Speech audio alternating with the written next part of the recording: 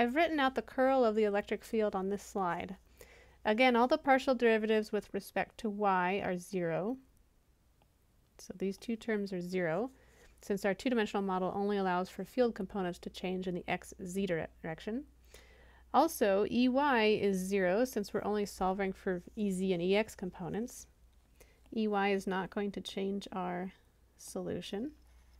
So then, all that is left from the curl operation is minus y hat dez dx minus dex dz.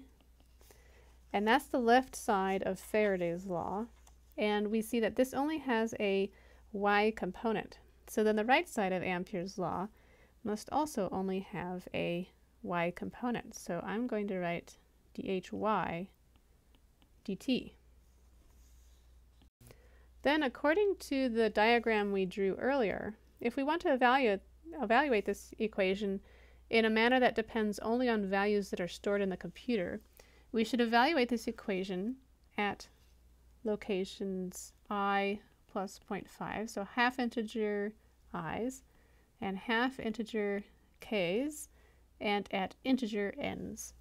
So if we do this on the left side, we're going to get ez at n, i plus 1, k plus 0.5, minus ez at n, i, k plus 0.5. So this is a partial derivative in the x direction.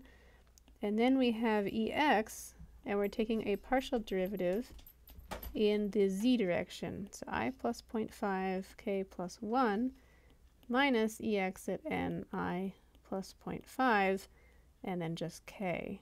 So divided by z.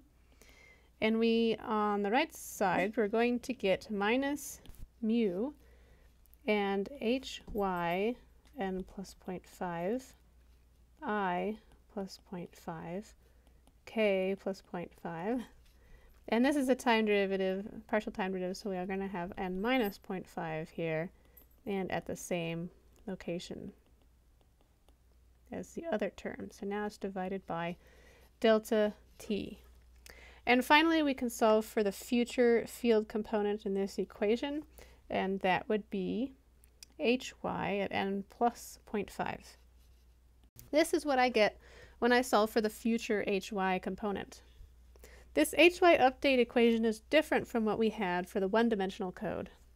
The first part is analogous, but what is different now is we also have to subtract the two neighboring ex's.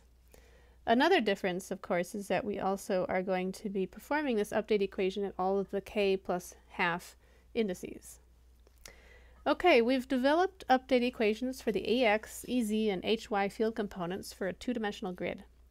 In order for us to now create a two-dimensional FDTD model in the computer, it will be easier to make a copy of the one-dimensional FDTD code that you wrote earlier and convert it into a two-dimensional code, rather than just writing a two-dimensional FDTD code from scratch.